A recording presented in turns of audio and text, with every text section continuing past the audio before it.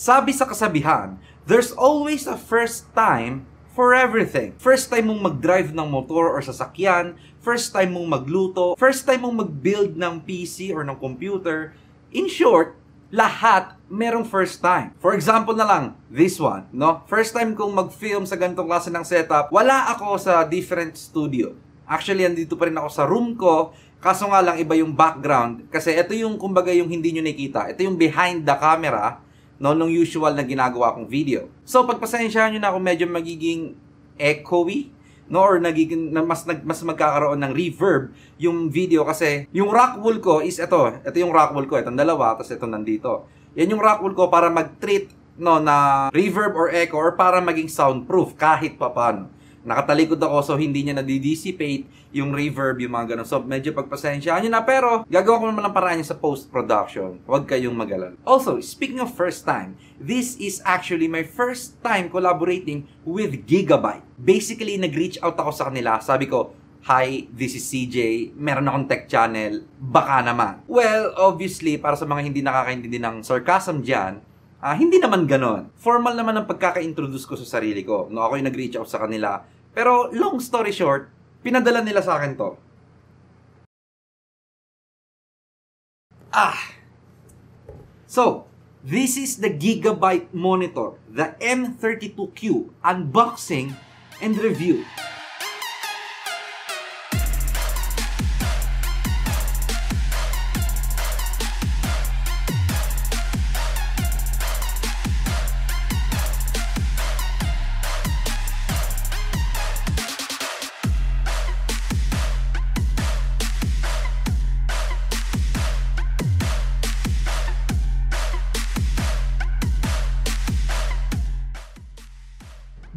Evening guys! Maraming maraming salamat sa pagkiklik ng video na ito. I really really appreciate it. So without any further ado, let's get into the content. Whew! First time sa ganitong klase ng setup.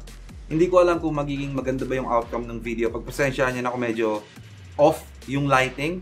No? This is my first time. Ito yung softbox ko. Nandito yung LED light panel something ko, whatever. Pero yun, pagpasensyahan niyo na ako medyo scuff. No? Yung setup natin ngayon. Uh, wala lang.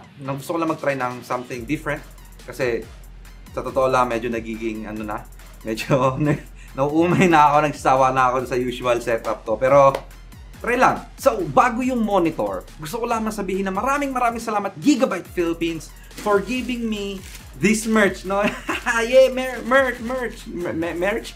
for some whatever reason, sobrang excited ako sa merch talaga. Teka lang, ito, mabilis ang unboxing lang ng merch. Teka lang. So, ito may pinadala sa akin si Gigabyte na cup, auto cup, no? Ayan. Buksan na natin. Hindi bagay sa akin ang cup. Hindi ako nagka-cup, pero i-try natin. Di ba? Ano, ayan, oh. Hindi bagay sa akin. Ayan. Hindi ko alam kung isusuot ko to, pero marunong ako mag-hot pick dito, eh. Yan. so, hindi ko alam isusuot ko to, pero maraming maraming salamat Gigabyte Philippines for sending me this. Tapos, meron pang included na, oh, may included na t-shirt. Okay, so, ah, uh, sa natin. So, ito yung t-shirt. Horus, Team Up, Fight On. Ayan, usual uh, merch. Tapos meron nakalagay sa likod na Horus. So, eh, ito yung susot ko. Teka lang, papalit lang ako. Yan, so ito na yung damit nila.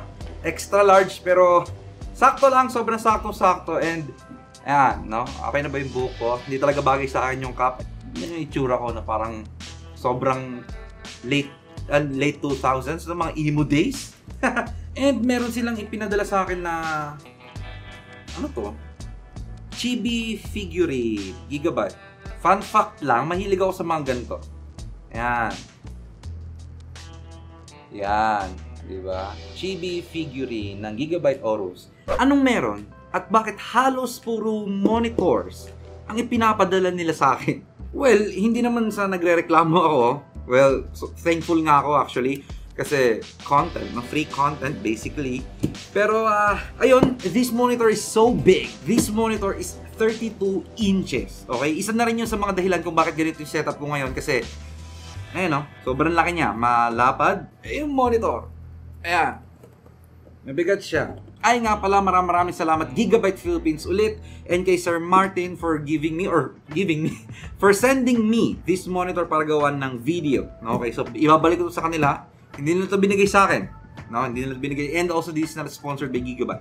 So, uh, yun. Sobrang laki nito. This monitor has an IPS display, 165Hz, overclockable up to 170Hz, FreeSync Premium, and isa sa mga main feature nitong monitor na to is yung tinatawag na KVM. KVM stands for Keyboard Video, or yung monitor, and mouse apparently, po pwede ka mag-control no, ng multiple computers or devices in a single input ng keyboard, video, and mouse. Cross-platform friendly din ito. So kahit anong operating system ang meron kayo, supported nito. 1 millisecond GTG response time and meron din itong HDR400, OSD Sidekick, Game Assist, and much more other features na in reality, hindi na necessary pero still, nandyan pa rin yan, nilagay ni Gigabyte or binibigay sa inyo ni Gigabyte to give you a much more better gaming experience. Teka lang, give me a minute lang muna para i-unbox to. Minute, no?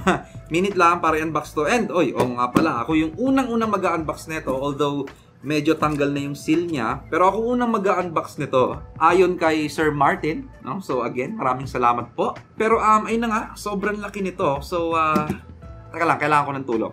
Nga pala guys, kung nagustuhan nyo na yung video so far, please hit the like button and follow me on Twitter, Instagram, and Facebook kasi minsan nagpo-post ako ng update doon. Lahat guys ng links ay nasa description down below. And kung gusto nyo mga ganito klase ng video, please consider subscribing with notification bell on para sa next time na mag-upload ako ng ganitong klase ng content, eh, updated kayo. Okay? So, uh, let's go. So guys, ito yung kasama ko. Yay! si Angel. Ayaw mo na, alam. Masyadong scout ah. Tignan mo yung script ko, pre. Dapat si Mirang eh.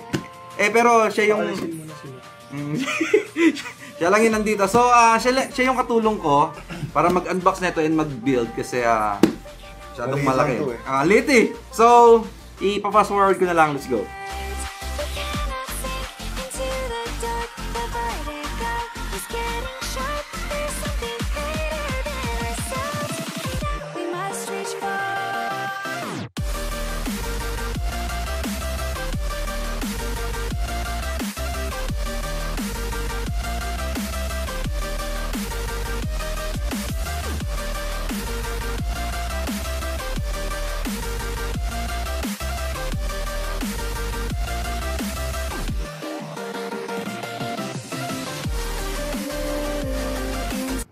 Lumayas ka na. Okay na? Okay na. Lumayas ka na dito. Hindi nga, okay na nga? Oo nga! Okay na? Ay, katayan ko. Kasi, hindi kasi, ano rin kasi. Layas na! Hindi, teka lang. So, ito na yung monitor guys. No? Kita nyo naman dun sa time-lapse, binild namin to. Kasi mahirap talaga ito mag-isa. Kasi bukod sa malaki, mabigat siya. Ay, ang mga kasama nga pala sa box, kanina nung binuksan is itong multilingual installation guide. Yan, may kasamang ganyan. Tapos, I think this is Thunderbolt. Not sure. Pero meron siya kasamang ganyan. Ayan. Yan, yung ganyan yung interface. Para siyang Thunderbolt to USB 3.0 Type A. Tapos, power cable, um, HDMI cable. Tapos, this is DisplayPort cable. Ayun, yun yung mga inclusions niya. Bukod sa styro styrofoam. Ayun. Grabe, tignan nyo na may itsura niyan, guys. No? Ang laki niyan. This is my actually my first time na mag-build and baka experience. Hindi, hindi naman maka-experience kasi nakagamit na ako. Pero this is my first time na like yung gagamitin ko talaga in my own. No? Yung mga yung monitor na more than 28 inches. Kasi yung personal monitor ko dito, yung gamit ko dito is 28 inches lang. Ito, 32 inches. Ang laki niya. Okay, so first impression ko dito is bukod sa malaki siya and mabigat, is yung pagkaka-design sa base and sa overall niya. This monitor has a V-shaped base na gustong gusto ko. Kasi guys, compared doon sa mga round na base, mas magkakaroon kayo dito ng space kung ilalagay nyo man ito sa desk nyo. No? At hindi nyo i-wall mount. Nakalagay lang siya sa desk. Mas magkakaroon kayo ng space pagka ganon. For the build experience guys, is it's quite easy and straightforward. Hindi na namin kinailangan ng manual para buuin ito. Ayun nga lang talaga, the issue is masyadong mabigat and malaki kung isang tao lang ang gagawa na ito. Now, okay na yung first impression in build experience. Let us now talk about the specs of this monitor.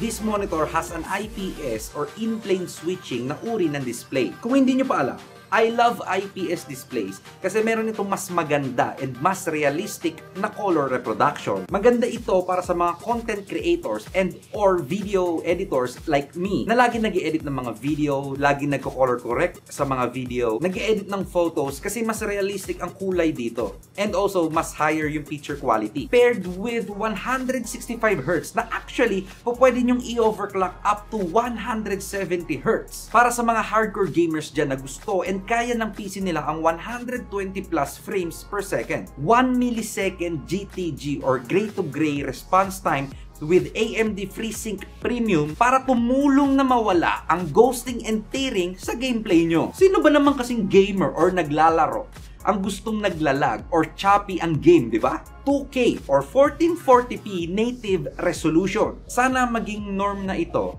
sa Pilipinas or maging normal na ito sa Pinas. Oo, malaki pa tayo sa pagiging norm ng 4K or even 2K resolution. Pero kung nakapag-try na kayo ng at least 1440p in gaming, no, kahit hindi na muna yung 4K, nako, sinasabi ko sa inyo, mag-iiba talaga ang tingin nyo sa 1080p gaming. Kasi mas maganda or mas higher quality yung game. Although walang improve na performance dyan sa game, no? Kasi macro game is always on the player, no? Huwag nyo sisihin yung hardware nyo kung hindi talaga kayo marunong maglaro. Other features nito na in reality hindi naman masyado napapansin kasi mas mahalaga pa rin ang performance. It has 178 degrees viewing angle, dalawang HDMI 2.0, isang DisplayPort 1.4, tatlong USB port 3.0, isang USB Type-C 18 watts. Aba, pwede ka mag-charge ng phone dito, 18 watts. Tilt angle of negative 5 degrees to positive 21 degrees it can swivel about negative 20 degrees to positive 20 degrees. Meron itong estimated weight of 10.2 kilograms. So, ngayon nasabi ko na sa inyo ang specs and features ngayon naman, susubukan ko to or gagamitin ko to sa gaming. Kasi, well, after all, no, at the end of the day, this is a gaming monitor. So, let's go! Now, I'm done sa paglalaro. And as usual, I play the game of Valorant. And tulad ng aking inaasahan, this monitor gives you a premium feel sa paglalaro. The color reproduction is good, kinaya nito ang frames na pinoproduce ng aking video card na RTX 3080 thanks sa 170Hz refresh rate nito pag in-overclock. No problem ang frames ng laro. And also, wala akong na-experience na ghosting, tearing, choppy, or paglalag sa game. IPS display or in-plane switching is so good para sa napakaganda at napaka-realistic na color reproduction. Samahan pa ng native 2K or 1440p resolution para sa mas high quality graphics ng game. With all that being said, this monitor is not perfect. Now let's now head over to my pros and cons. Simulan na natin guys sa pros. Of course, yung resolution and yung refresh rate. 1440p gaming, tapos 165Hz or hang, hanggang 170Hz actually pagka in-overclock. Ayan ang wet dreams no ng most gamers, including me. Pero guys, always keep this in mind na high refresh rate ng monitor is good as long as yung GPU or yung video card ng computer nyo is capable of putting out enough frames para ma-utilize yung refresh rate ng monitor nyo. Next guys, and potentially last, or ito na yung last sa, para sa akin sa pros is yung screen size neto or yung display size or whatever, basta size. At first, medyo skeptical ako kasi 32 inches to eh. Personally, hindi ako fan no ng malalaking display. Pero nung ginamit ko na to, yes, nung una medyo nahirapan ako kasi kakailanganin ko mag-adjust, no? Kasi mas malaki siya doon compared doon sa usual na gamit ko. Pero honestly, after some time, wala namang problem. Anyway guys, now let's talk about some of the cons. For me guys, unang-una na yung screen size. Yes guys, at tandaan nyo, bigger screen size, ibig sabihin nun, maganda yon kasi meron kayong more room to work with. Pero nung sa na-experience ko nung una, nakaka-stress and medyo mahirap gamitin kasi nga malaki. No, hindi ito ideal para doon sa usual setup na about 2 feet away lang yung monitor, no? And then nakaupo kayo. Tapos yung monitor is mga around 2 feet away. Hindi siya ideal sa ganon. Mas ideal ito sa 3 to 4 feet away sa inyo. No, kasi pagka malapit, nahihirapan kayong tignan yung mga objects or yung mga bagay na nasa display or nasa screen kasi lilingon-lingon kayo. So, ang tendency nun, baka magkaroon ng stress doon sa leeg nyo. Next na cons, guys, is yung other features nito. Yes, for me, cons yung other features nito. Bakit? Kasi, well, honestly, yung ibang features nito guys is hindi nyo naman magagamit. Kasi well, unang-una, hindi kayo or hindi tayo, hindi naman tayo sanay sa mga ibang features nito. Pero at the same time, hindi nyo naman ito bibilhin kung hindi nyo talaga gusto yung iba netong features katulad ng game assist, KVM, and etc. So, that is it for the pros and cons. Ngayon naman punta na tayo sa conclusion. All in all guys, this monitor is good, but not that great. Kasi sobrang laki nito para sa mga average gamer or kahit nga sabihin mo mga competitive gamers kayo, having a big monitor is good for productivity and gaming kasi mas magkakaroon kayo ng more room to work with pagka nagtatrabaho kayo or mas magkakaroon kayo ng view habang naglalaro kayo. Pero the big question is, how much? Magkano ba to? This monitor guys has a price of around 28,880 pesos. Depende yan guys kung saang store nyo bibilhin. Po pwedeng mas mahal or po pwedeng mas mura. Yes, mahal ang monitor na ito. Kung 27 inches yan. Pero this is a 32 inches monitor. ba Medyo nauutal na ako. This is a 32 inches monitor. Tapos ano, 165 Hz. Overclockable up to 170 Hz. IPS display. FreeSync Premium. Ano pa, merong game assist, KVM. Actually guys, I can keep on going kasi sobrang daming features nito. Kung ako'y tatanungin nyo guys, no? Jam-packed ng features. Okay, the price is actually competitive. If you guys are into bigger screen size, IPS display, 1440p resolution, 165 Hz, definitely consider buying this monitor. So that is it for the video guys. Maraming maraming salamat sa panonood. And once again, maraming maraming salamat Gigabyte Philippines and kay Sir Martin for lending me this monitor para gawa ng unboxing and review. As usual guys, kung nagustuhan nyo yung video, please hit the like button. Sobrang nakakatulong yan. Pero kung hindi nyo naman nagustuhan, you can do whatever you want. It's a free country. Doesn't matter. Also guys, comment kayo sa comment section down below. Let me know kung ilang screen size ba o ilang inches yung monitor na gamit nyo. Kasi curious lang ako malaman kung ano-ano ba yung mga preferred nyo? Ano yung preference nyo? Ano yung current nyo na ginagamit nyo? Or ano ba yung gusto nyong bilhin? No? Anong, anong size? Definitely let me know sa comment section down below. Subscribe kayo din sa channel guys kasi napakarami pang tech-related videos as well as unboxing, review, PC building videos, and giveaways coming up very very soon. Once again guys, my name is CJ and magkita-kita tayo sa susunod kong video.